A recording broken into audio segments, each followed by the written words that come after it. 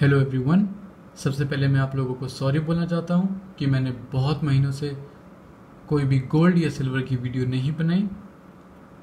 But don't worry मैं आप लोगों को भूला नहीं हूँ। मैं आप लोगों की क्वेरीज और कमेंट्स सब पढ़ता था। एंड जब मुझे टाइम मिलता था, मैं उनको रिप्लाई भी करता था। एक क्वेरी मुझे बार बार आती थी, वो है कि मैं अपना गोल्ड सिल्वर को प्रोटेक्ट कैसे करता हूँ और मैं उसको स्टोर कैसे करता हूँ। तो मैंने सोचा, इससे अच्छा मैं बार बार इस चीज़ पे रिप्लाई करूँ, एक वीडियो बना देता हूँ और आपको प्रेजेंट करता हूँ। तो आज इस वीडियो में मैं आपको बताने वाला हूँ कि गोल्ड एंड सिल्वर बार्स को प्रोटेक्ट कैसे करें स्क्रैचेस से एंड उनको स्टोर करने के कौन से ऑप्शन हैं हमारे पास। अब आप सामने देख रहे होंगे, ये येलो कलर का बॉक्स इस बॉक्स के पीछे एक बड़ी स्टोरी है। ये बॉक्स मैंने कहीं से ख़रीदा नहीं है। ये बॉक्स में आया था एक शादी का कार्ड जी हाँ इतना फैंसी बॉक्स शादी के कार्ड के लिए। बहुत इम्प्रेस हुआ था मैं। तो मैंने सोचा कि इस बॉक्स को मैं कैसे यूटिलाइज करूँ। फिर मेरे को आइडिया आया कि मेरा गोल्ड और सिल्वर जो बार्स हैं, वो इसमें अच्छे से आ सकते हैं। एंड उस दिन से मैं इसको अपने स्टोरेज ऑप्शन की तरह यूज़ कर रहा हूँ। अब मैं आपको दिखाऊँगा कि इसके अंदर मैंने अपने गोल्ड सिल्वर बार्स को कैसे अरेंज करके रखा है। सो लेट्स सी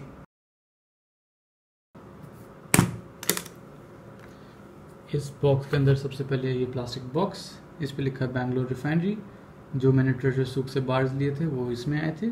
काफ़ी हैंडी आ जाते हैं ये बॉक्स नेक्स्ट बॉक्स में है गोल्ड बार्स और platinum bar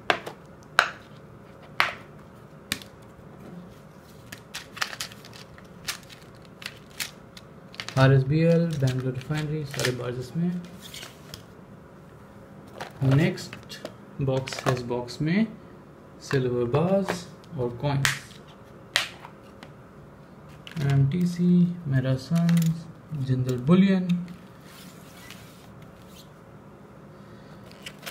ये इसमें नेक्स्ट है हंड्रेड रुपीज़ का और फिफ्टी रुपीज़ का सिल्वर नोट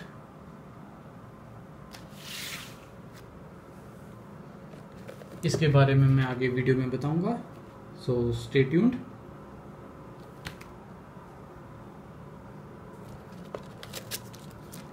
ये हैं 50 ग्राम के silver bars M M T C है और वो बी आर पी एल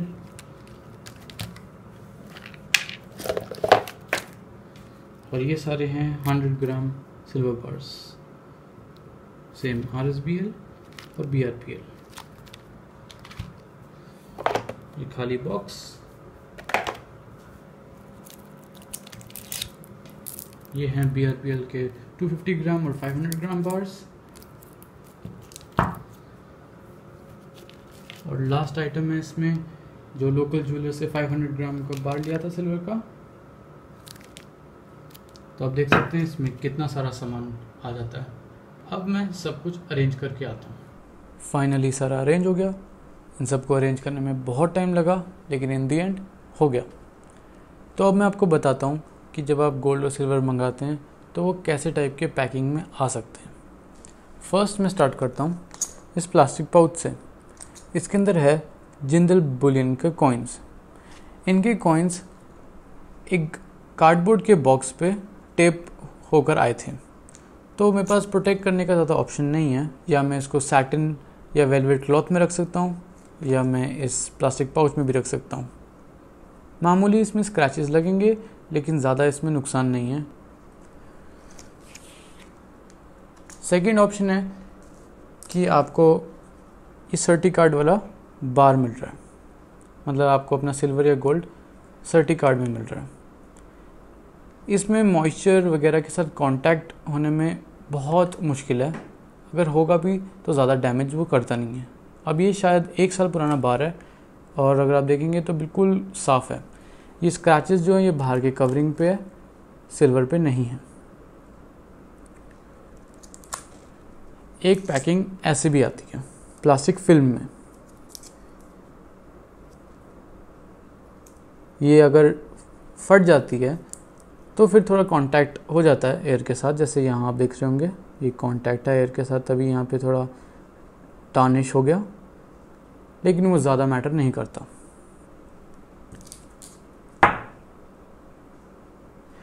एक ऑप्शन है कैप्सूल्स कैप्सूल भी बहुत अच्छे माने जाते हैं प्रोटेक्शन के लिए बट मैंने काफ़ी स्क्रैचेस लगा दिए इसमें। अगर आपके पास सिमिलर कोई कॉइन है और आपको कैप्सूल में डलवाना है तो आप अपने ज्वेलर से पूछ सकते हैं, उनके पास एक्स्ट्रा कैप्स होती हैं।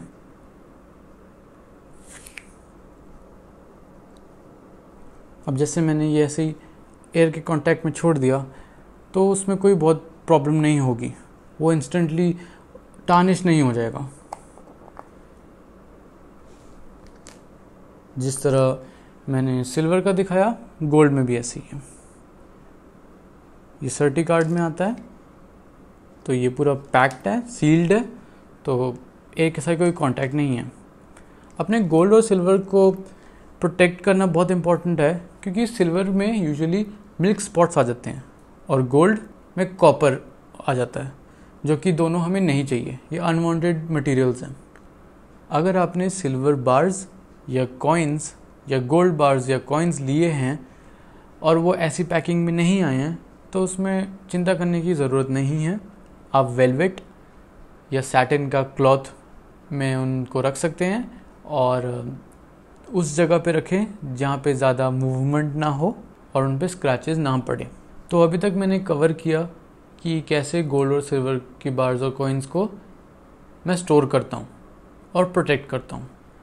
अब मैं आपको बताता हूँ कि और कौन से ऑप्शंस हैं जिनसे आप अपने सिल्वर और गोल्ड को स्टोर कर सकते हैं। पहला ऑप्शन है घर में सेफ़ खरीदना लॉकर टाइप जैसे गोदरेज का, जिसमें पासवर्ड कॉम्बिनेशन की ये सब यूज़ होता है। उसके बाद अगर आप घर में सेफ़ लगाएँगे तो ये भी ज़रूरी है कि आप एक सीसीटीवी कैमरा भी इंस्टॉल कर लें। उससे सिक्योरिटी ज़्यादा बढ़ेगी। अगर आप अपने गोल्ड और सिल्वर को किसी सेफ़ में नहीं रखना चाहते, लेकिन आप घर में स्टोर करना चाहते हैं तो किसी ऐसे लोकेशन में रखें जहाँ सिर्फ़ आपके पर्सनल एक दो लोगों को पता हो और किसी को ना पता हो।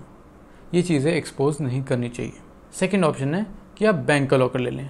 ये मैंने स्टोन में क्यों बोला? ये आपको आगे पता चलेगा। तो बैंक का लॉकर लेने के लिए सबसे पहले आपका अकाउंट होना चाहिए उस बैंक में। और उसके साथ साथ बहुत बैंक्स होते हैं जिनकी टर्म्स एंड कंडीशंस बहुत अलग अलग है। जैसे एक बैंक कह सकता है, आपको हमारे यहाँ अकाउंट खोलने के लिए एक पचास हज़ार की एफडी करनी पड़ेगी। तो बेसिकली क्या आपको लगता है कि आप लॉकर अवेल करवाने के लिए एक एफडी करोगे फिफ्टी थाउज़ेंड की? फिजिबल लगता है आपको? तो ज़रूर करिए। एंड सेकेंड चीज़ ये है कि लॉकर की फैसिलिटी को अवेल करने के लिए फ़ीस देनी पड़ती है। मैं एक एग्ज़ाम्पल ले रहा हूँ, पंजाब एंड सिंध बैंक का। इस टेबल में देख सकते हैं। दो फैक्टर्स हैं साइज़ ऑफ़ लॉकर और category of branches size of locker में स्मॉल मीडियम लार्ज और वेरी लार्ज दिया गया है। डिपेंड करता है कि आप डॉक्यूमेंट्स रखना चाहते हैं या गोल्ड या सिल्वर बार्स रखना चाहते हैं। कैटेगरी ऑफ़ ब्रांचेस मतलब रूरल यानी कि गाँव, जहाँ दस हज़ार से कम लोग रहते हैं। अर्बन जहाँ दस लाख से कम लोग रहते हैं और मेट्रोपॉलिटन सिटीज़ जहाँ दस लाख के ऊपर पॉपुलेशन है, जैसे दिल्ली, मुंबई, बेंगलोर। तो अगर मैं एग्ज़ाम्पल लेता हूँ, मान लो मैं अगर मैं किसी मेट्रो सिटी में रहता हूँ, मान लो बेंगलोर में रहता हूँ, और मेरा पंजाब एंड सिंध में अकाउंट है, मैंने लार्ज लॉकर ले लिया तो मुझे हर साल छः हज़ार रुपये देने पड़ेंगे बैंक को लॉकर रखने के लिए। अब आपको लग रहा होगा गोल्ड सिल्वर जो आपने इन्वेस्ट करा है जिसमें उसको सेफ़ रखने के लिए आपको और पैसे इन्वेस्ट करने पड़ेंगे। जी हाँ यही है ट्रुथ एक पल के लिए इंसान ये भी सोच सकता है कि चलो, मेरा लाखों का सामान बैंक सिक्योर रखेगा तो छः हज़ार रुपये पर ईयर कुछ नहीं है। लेकिन एक शॉकिंग पॉइंट बताता हूँ। जो भी आप सामान अपने लॉकर में डालेंगे, वो इंश्योर्ड नहीं होता है। जी हाँ कोई इंश्योरेंस नहीं है उस पर जब आप अपने लॉकर में कंटेंट डालते हैं तो आप बैंक को कोई डिटेल नहीं बताते कि उसमें क्या है। तो बैंक वालों को कोई आइडिया नहीं है, आप उसमें पेपर रख रहे हो गोल्ड रख रहे हो सिल्वर रख रहे हो, कुछ भी, या इवन खाली छोड़ रहे हो, वो भी उनको फ़र्क नहीं पड़ेगा उस चीज़ के लिए। उनको सिर्फ़ अपने साल की फ़ीस चाहिए। ये इंश्योरेंस ना मिलने का ये नुकसान है, अगर बैंक बैंक हो गया, जी हाँ बैंक बैंक हो गया तो वो हमारे साथ गेम्स खेल सकता है। अपना लॉस कवर करने के लिए हमारा सिल्वर, गोल्ड या कैश कुछ भी उसमें से गायब कर सकता है और हम क्लेम भी नहीं ले सकते। क्योंकि हमने कहीं कंटेंट्स मेंशन ही नहीं किए। बैंक अपने हाथ खड़े कर देगा और हमारा लॉस वहीं पे हो जाएगा। इन केस लॉकर में से कुछ चोरी हो गया, आपको पता है आपने क्या क्या आइटम अंदर रखा था? बैंक को नहीं पता। आप क्लेम लेके जाएँगे किसके पास? कि मेरा चेन खो गई या मेरा बार खो गया उसका तो कोई इंश्योरेंस है ही नहीं। यहाँ पे फिर आपका लॉस तो अगर इंश्योरेंस है ही नहीं उस चीज़ का, क्या फ़ायदा बैंक में रखने का? खैर, ये आपके ऊपर मैं छोड़ता हूँ सोचने के लिए कि आप क्या प्रेफर करेंगे। जब ये क्वेश्चन मेरे पास आया था, तब मैंने इसके बारे में सोचा और फिर मैंने इसके आर्टिकल्स पढ़े और वीडियोस भी देखी कि लोग यूएस में क्या करते हैं। क्योंकि इंडिया और अमेरिका के कंपैरिजन बहुत होते रहते हैं तो मैंने सोचा चलो एक पर्सपेक्टिव देता हूँ। तो उसमें मैंने जब पढ़ा तो ये पता चला कि अमेरिका में लोग बैंक को अपना गोल्ड सिल्वर या इम्पोर्टेंट डॉक्यूमेंट देने से बहुत डरते हैं। क्योंकि उनको पता है इन्फ्लेशन या हाइपर इन्फ्लेशन के समय अगर बैंक ने सारा कब्ज़ा कर लिया तो वो हेल्पलेस रह जाएँगे, क्योंकि इंश्योरेंस है नहीं। तो फिर मुझे लगा कि हाँ मे बी वो सही सोच रहे हैं। बैंक को तभी दो अगर आपको ट्रस्ट है या आपको इतना लगता है कि घर पे अनसेफ है बैंक में सेफ़ है। तभी ऑप्शन सही है, वरना बैंक में लॉकर खुलवा के अगर वैल्यू ज़्यादा नहीं है, लेकिन पैसे आप दे रहे हो तो वो तो वेस्ट लग रहा है। एक फ़नी चीज़ बताता हूँ। मैंने ये पढ़ा था कि अमेरिका में लोग अपना गोल्ड और सिल्वर को अपने घर के नीचे दबा देते हैं, या अपने गार्डन के नीचे दबा देते हैं। वरना वो एक अलग सी जगह पे जाके दबा देते हैं और फिर उसका एक मैप बना के कहीं सेव करके रख लेते हैं। इससे पता चलता है कि वो बैंक को ट्रस्ट नहीं करते, लेकिन वो एक खाली ग्राउंड को ट्रस्ट कर सकते हैं। तो उनकी थिंकिंग सही भी हो सकती है और गलत भी हो सकती है। गोल्ड एंड सिल्वर को यूजुअली कहते हैं इन्वेस्टमेंट्स यू कैन होल्ड तो अगर आप ये सारा अपने बैंक लॉकर में रखोगे तो आपको बार बार अपना गोल्ड सिल्वर देखने को नहीं मिलेगा। आपको चिंता भी हो सकती है कि पता नहीं मेरा गोल्ड सिल्वर बैंक में सेफ़ है कि नहीं। काफ़ी इश्यूज़ हो सकते हैं। लेकिन अगर घर पर है, आप कभी भी चेक कर सकते हैं कंटेंट सही हैं कि नहीं, जितने डाले थे उतने हैं कि नहीं। एंड अगर कोई भी टार्निश हो गया है तो भी आप चेक कर सकते हैं। सिंस बैंक के लॉकर्स इंश्योर्ड नहीं होते हैं, घर पे जो आप रखते हैं गोल्ड एंड सिल्वर उसका इंश्योरेंस होता है। मैं श्योर नहीं हूँ कि कितने वैल्यू पे होता है। आई थिंक दस लाख या उसके ऊपर वैल्यू अगर आपकी गोल्ड सिल्वर की तो आप इंश्योरेंस करवा सकते हैं। एंड क्लेम वगैरह सारा उसके अकॉर्डिंग चलता है। बट बैंक में आपको कोई ऑप्शन नहीं मिलता। तो ये एडवांटेजेस काफ़ी लग रहे हैं कि घर में आप बार बार चेक कर सकते हैं आपका गोल्ड सिल्वर ठीक कंडीशन में है कि नहीं। जितना आपने पिछले बार रखा था उतना है भी कि नहीं। सिंस सीसीटीवी होगा तो अगर कुछ गायब होता भी है, आप ट्रैक कर सकते हैं कि किसने करा होगा। आपको अगर इमरजेंसी में बेचना है उसे, आप कभी भी निकाल के जाके ज्वेलर के पास बेच आओ। लॉकर में होगा तो आपको ट्रिप मारना पड़ेगा। अगर मान लो छुट्टी होगी बैंक की तो आप वहाँ जाके अपना गोल्ड सिल्वर निकाल के बेच भी नहीं सकते। तो इस हिसाब से मैंने भी सोचा कि घर पे गोल्ड सिल्वर रखना काफ़ी अच्छा है। बस ऐसी जगह पे रखना जहाँ पे ज़्यादा लोग देख ना पाए कि क्या है इसमें। कई लोग अपने स्पीकर्स के अंदर डाल देते हैं। पता नहीं वो कैसे करते हैं। मुझे किसी ने पूछा था कि मैं कैसे स्टोर करता हूँ। तो आपके सामने है, मैं इस बॉक्स में स्टोर करता हूँ। तो मैंने आपको बताया था कि इस सिल्वर पाउच में कुछ स्पेशल है तो अब मैं दिखाता हूँ।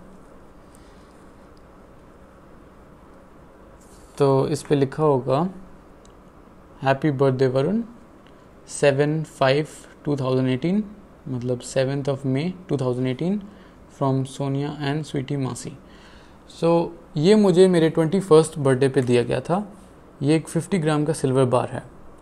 मेरे फैमिली मेंबर्स को बहुत अच्छे से पता है कि मुझे सिल्वर कितना पसंद है। तो उन्होंने मुझे ये गिफ्ट किया था।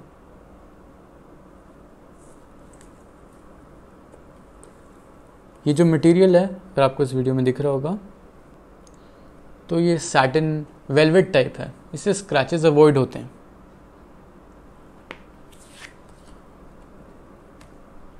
अगर आपको ये वीडियो अच्छा लगा please leave a like comment करें।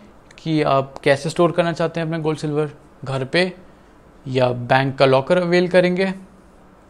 अगर आपको कोई भी क्वेश्चन या कोई भी क्वेरी है कमेंट में लिख दें। अगर हेलो करना चाहते हैं, वो भी कर सकते हैं। And finally do not forget to subscribe for more thanks for watching